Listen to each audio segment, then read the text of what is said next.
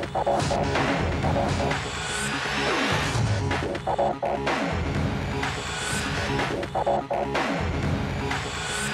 you.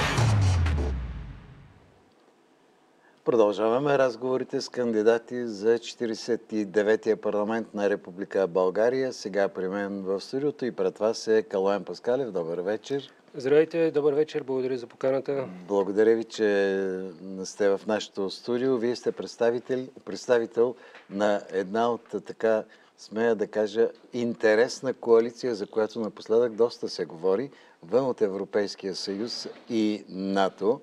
Бюлетината е номер 21, а да. вие сте водач в 17-ти многомандатен избирателен район, град Пловдив. Точно Преди малко да. говорихме как ще се стабилизира селското стопанство, а сега защо трябва да излезем от Европейския съюз и НАТО? За да излезем от Европейския съюз и НАТО не ни е само цел, но това е необходимо условие за да запазим българския лев. Защото механизмите, които са включени, те не позволяват България да има силна економика. Защото това, от което се страхуват Европейския съюз и НАТО, България да бъде силна и независима единна държава с една обща цел. А целта е стремеж към цялото, а цялото, когато има едно разумно правителство, е да подкрепя всеки един гражданин по-отделно. А пък великите сили не искат да има друга велика държава, която е с дълбоки и древни корени. Говорейки за дълбоки и древни корени, ние трябва все пак да напомним, че ние сме били държава много преди другите да си помислят, че ще имат държава. И това е което знаем, но нашата история протича през милиони години назад. Mm-hmm. Историята на човечеството като цяло и участието на българския народ, въпреки че тогава сме се наричали по друго име. И в момента, защото хората отхвърлят това, което е било предния строй и попадаме в един друг строй и този строй се променя и става още по-капиталистически настроен, все повече продължаваме да изпадаме в неприятни ситуации. Добре, възможно ли е това да се случи, защото звучи така доста стряскащо вън от Европейския съюз и НАТО? Звучи стряскащо, защото хората не могат да си представят какво, да бъде, какво ще бъде. Защото знаят какво е било преди да влезем в Европейския съюз и НАТО и хората буквално са нямали какво да ядат и какво да сложат в хладилниците си. Обаче в момента при положение, че самата модерна монетарна теория предоставя възможност на една, на една държава да бъде финансова независимост и да осигури достойна работа на всеки при достойно заплащане на местото, на което работи, не виждам причина защо трябва да седим в едни окови и да слушаме великите сили при положение, че имаме вече инструменти, с които може да издигнем България на световното Добре, вие споменахте за така лош начин на живот. Кога е било това? Всеки го тълкуват различно. Преди 89-та някой казва, че е било ужасно, други казват, че след това е било ужасно. Всеки според нивото си на съзнание и според собствената си карма. Когато се говори за един период от време преди или след промените, трябва да се знае, да се проучат нещата, защото като кажете, че е било ужасно, наистина хората, тези, които не са живяли, ще си помислят, че България е била сигурно един концлагер, едва ли не много неща тогава са били в растежа си. В момента, понеже цялата економика се закрива, Европейския съюз се грижи ние да нямаме развита економика, все още не могат да закрият това, което е било построено преди 89-та. Не могат да го боядисват, както, боядисват, както казваше да. Тодор Живков. Да. точно, обаче се опитват и не спират и няма да спрат. Mm-hmm. Просто в момента всичко се случва плавно, даже въобще не е толкова плавно. Mm-hmm. Добре, а, вие сте една коалиция от партии, а, която се обединява с тази идея България да не е в Европейския съюз и НАТО. Но ние имаме договори подписани, имаме, а, ние сме кандидатствали за да влезем в тези съюзи. Не се знае доколко сме кандидатствали, понеже хората не бяха питани дали искаме да влезем в тия съюзи. И в момента дори да се правят подписки и референдуми за запазване на българския лев, има клаузи по Лисабонския договор, а и договор изключен след това, че всички ратификации не са позволени след приемането на, на България в да. Европейския съюз. Така че какво означава ти да влезеш в един капан и да не можеш да излезеш, а си влезе уж по собствена воля, което не е така. Да ми, е, явно сиренцето е било много привлекателно в този капан. Надявам се вече да сме станали достатъчно съзнатели да си дадем сметка, че пътя, ако останем, потъваме с всички останали, даже много по-бързо от всички останали и когато Европейския съвет се разтури, защото това най-вероятно ще стане, България ще плаща данъците на всички останали държави. А, вие все пак а, сте млад човек. А, не вярвам да искате чак до такава степен да, да се разтори Европейския съюз, че да се разрушат всички контакти, пътувания, работа и така нататък. Ами, за съжаление си мисля, че това е единствения шанс България да се запази. Или да излезе от Европейския съюз, или Европейския Какво ще стане, съюз ако да не излезем близките 15-20 години? Човешкия индивид ще бъде все повече обезличен, все повече ненужен, ще бъде замесен с изкуствен интелект и ще бъде вкаран в една примка на промяна на евровалутния борт и затягане на евровалутния борт. Ще ни вкарат в една много по-лоша и по-опасна система, където хората ще се делят на изключително бедни и изключително богати. Една малка група ще живее добре, всички, Всички други... останали сме...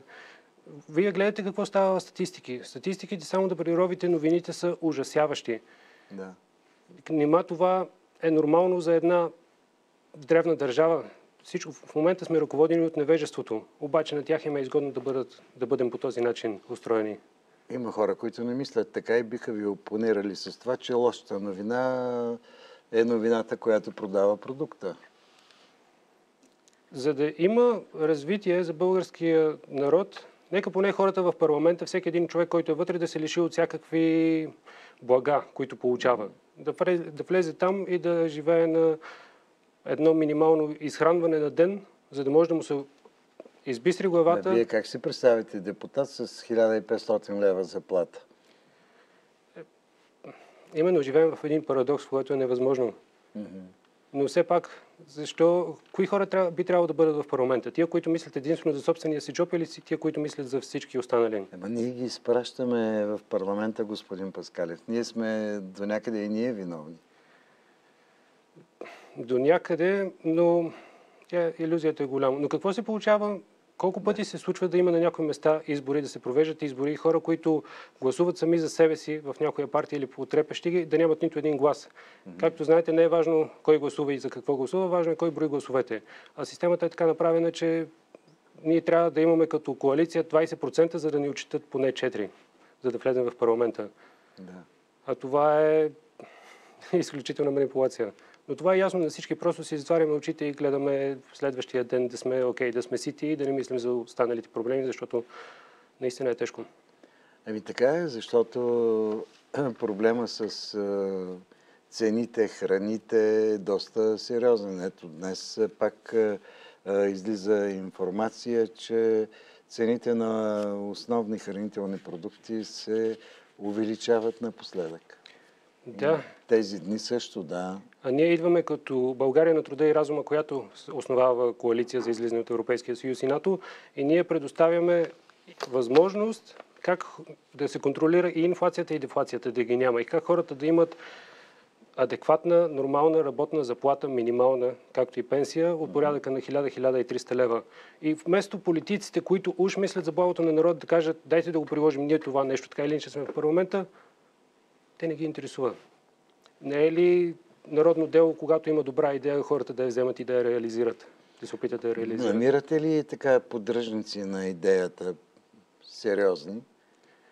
Малко хора разбират как работи финансовата система днес. Повечето хора си мислят, че правителството трябва да събира данъци, за да може да харчи. И още други измами, които не са така. Не, правителството създава парите. Примерно, откъде идва електроце... енергията в, в България? От... Да. Както и парите. Парите са естествен монопол. Това е нещо, което е контролируемо. А в момента България е изкупила суверенитет още от 1997 година след приемане на евровалутния борт. Когато влезем и в еврозоната и приемем еврото, тогава влизаме в още по-тежък евровалутен борт. И тогава вече няма спасение. Каквото и да си говорим, тогава е... Не стига, че в момента положението в България е всеки сам за себе си, тогава ще е още по-тегаво, защото ще се настроим един срещу как друг. Как хората приемат вашите идеи, когато се срещате с тях? Казват много хубаво, обаче няма как да стане. Хората а вие вече... вярвате, че, трябва, че може да стане? Може да стане, може да го реализираме, но единствените условия, които са необходими е 51% парламентарен вод подкрепа. Това вече... При тази ситуация това е наистина... Да. Фантазия. Иначе ще ходим на... Има една история. Събрали се на едно място измамник, е, крадец, комарджия, наркоман. Това Да. не е някой вид, това не е виц. Това е среща в българския парламент. Ситуацията е такава. Там отиват хора, които... Важното е всички други да са зле, но тях да имат добре. Той имаше и шопски виц е, по този повод. Вие го знаете сигурно много добре. Но вие сте един човек, който се занимава и с духовното. Да, как дух- ги съчетавате? Защото това е агресивно малко вън от Европейския съюз и НАТО. А, вашите духовни така стремежи са други, доколкото разбирам. Духовното не изключва материалното. И духовното, смисъла на духовното е да служи на цялото, да се научим да, да служим на другите хора. А това отхвърля mm-hmm. дори аскезата и себе отрицанието ние да забравим себе си и да помогнем на другите хора. А единствено държавата може да помогне на всички хора, които живеят на нейната територия. Защото по-отделно аз на колко човек мога да помогна? На десетина, на стотици, но даже и това са много. Но държавата може да помогне на всички 6 милиона или колкото са останали. За това, че стремежа е да служим на цялото и цялото да служи на всеки по-отделно. Това е духовното. Това е много хубаво, но духовното трябва все пак е, да бъде съобразено и с е, материалните потребности на хората. Материалните потребности бързо Не можем да всички да отидем в манастир. Не, не се говори. Духовното въобще не е в манастира. Да. Особено в изградената структура, която едва ли не е държавна организация, духовенството в България. Духовното е тук вътре в сърцето. Когато ние направим връзката с свръхдушата, с висшето Как ще направите така, че да го усетят повече хора? Йога и медитация, изучаване на санскрит и изучаване на верите. Верите са тези текстове, които са корена на, на българския Вие език. сте е, така привърженик на източните религии, доколкото разбирам. Ами ние сме източно европейски народ, така или иначе. Ние идваме от или територията на днешна Индия хората са били първо тук и са отишли там, или ние идваме от там. Сега вие ще, ако влезете в парламента, ще направите ли така, че да разберем малко повече за тези неща? Определено на първо място трябва да се промени образованието. Има система, която се нарича Варна Шрама Дарма. Да. Това е как едно, едно общество да фигурира по божествения промисъл. И това е как може всички в държавата да бъдат удовлетворени. Но ние сме прекалено далече от това съзнание за цялостност. Да. Добре, и още нещо. Ние се намираме сега в един много особен период на обществено-економическо, социално развитие. Как коментирате войната в Украина като представител на нещо, което говори за мир, за равновесие духовно, душевно? Всичко си върви по план. Това е планувано десетки, не знам от колко години, от няколко години преди да се случи, така че всичко си върви по план. Момента медийната пропаганда е такава, че като, ние, като нищо и ние ще се вкараме в тази война, защото искат да не вкарат война срещу Русия. Не казвам да бъдем 100% с Русия, но поне казвам да не бъдем срещу Русия, защото това изобщо не е разумен ход. Ние нямаме нищо вече, нямаме армия, нямаме съзнание, нямаме боеготовни хора, които са готови да защитават дори града си. Трябва ли обаче напоследък се заговори за военно обучение, за преминаване на курс по военно дело на младежи до определена възраст в училищата? Би било добре, но ако военното дело е целенасочено и в служба на НАТО, по-добре не. По-добре НАТО сами да се оправят и да не жертваме български граждани за някакви чужди войни, в които не искаме да участваме така или иначе. Европейския съюз и НАТО, ако излезем от тях, дали ще можем да си възстановим армията? Всичко е свързано с израстване на съзнанието на хората. Така че ако почнем да си възвисяваме съзнанието, ще можем, защото всеки един ще има, ще има стимул да се бори за дарма. Дарма е защита на, на принципите на Бога. Вие сте няколко партии, които направихте тази коалиция. Там има доста интересни представители на коалицията от партии вън от Европейския съюз и НАТО. Да, и Имате ли стратегия, някакъв план разработен? Как ще е, действате, ако влезете в парламента? Какво трябва да предложите? първото нещо, което ще направим е да променим закона за участието на гражданите в управлението на държавата. Смисъл? Да може да се гласува чрез блокчейн технология, хората да гласуват за национално и регионално ниво за промяна на на законите, за да бъдат хората да гласуват. Защото това е демокрацията. Защото това, което в момента ни представя демокрация, няма нищо общо с демокрация. Е, да, извинявайте, опитаха се да направят да гласуваме с машини, но се оказа, че ние обичаме хартията. Това е Оказва се, че мишката не е изяла хартията. Въведели са блокчейн технологията, това, което да. коалицията предлага. Тогава всеки човек ще може да си въведе егенето и да гласува от телефона и да гласува за важни въпроси, които отнасят развитието на неговото населено място или за развитието на държавата. Обаче в момента хората нямат гласност. Хората нямат глас и не им се чуват гласовете. На някой му е по-удобно да е така. Е, разбира се, че е по-удобно, защото и между другото, чува се, защото има бунтове. И, колкото и те се опитат да ги избягват, те се виждат. Последните една седмица може би фалираха над 150 банки в различни държави. Обаче това нещо не се разчува. Ние знаем за няколко големи Швейцария и Америка. Да, над 150 са. Даже Българска народна банка най-вероятно и тя е фалирала. И тя, е. тя е фалирала отдавна, но това е друга тема. Казва, че нашата банка е стабилна и няма смисъл да се притесняваме. Да, какво да кажа, да, фалирахме и хората да, да си кажат, дай да ги свалим тия, защото вече не може. Разбира се, че за тях всичко е цветя и рози приказката за стълбичката. Те са изкачили горе и гледат надолу хората, се веселят и се смеят и са щастливи. Христос Мирненски, помните ли в един парламент господин Герджиков, когато стана председател на парламента, подари приказка за стълбата на всеки един от народните представители? Вие какво бихте подарили, ако влезете в парламента? Финните закони на кармата е малко сложно да го разбера, но... Да, идеята е, че това, което правят, няма да, оста... няма да, им... няма да остане нерефлектирано върху тях. Както се казва, както едно теленце може да си намери майката, целите едно огромно стадо от крави, така кармата следва всеки един човек и всеки си получава заслуженото. А хората, които са начало на държавата, те приемат от цялата обществена Ще карма. Ще изпаднете обаче в сериозни противоречия с uh, Светия Синод тогава ще, тогава ще говорим за знанието, което наистина ни е предоставено от Бога. Защото едно е вярата, вярата е твърда убеденост в нещо. Вярата е първата стъпка. Но знанието да. е нещо различно. Знанието е да живееш по определени закони. Така че те са с едни... Те самите не могат да отговорят на въпросите, които са, хората искат да знаят. Е, да, но все пак това е официалната религия в България. То много неща са официални, но не означава, че са правилни.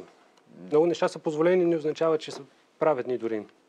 Така е. Какво бихте казали на финала на зрителите? Днес е 21 март, бюлетина 21. Гласувайте срещу Адженда 21 и срещу плана на ООН за устойчиво развитие, защото това ще доведе до един технологичен затвор. Така ли? Да, бюлетина 21 срещу Адженда 21. Защото това, което те ни представят, цветя и рози, всъщност са пепел и прах. Ще изгорим. Трябва да ви кажа, че има едно движение, което идва вече от ООН за справяне с сериозните проблеми, климатични и всякакви, така че е, трябва да помислите и по този въпрос. Те имат 17 точки на ООН за справяне с, с, с всичко. Само, че да. едно е това, те, което представят, друг е превода съвсем различен. Много благодаря. Желая ви успех. Само да повторя, Калоян Паскалев, коалиция от партия, партия Иван от Европейския съюз и НАТО, бюлетина номер 21, водач в 17-ти многомандатен избирателен район, град Пловдив. Успех! Харион! Купуването и продаването Купуването на гласове е престъпление.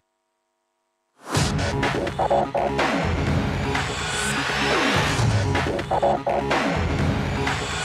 Thank you.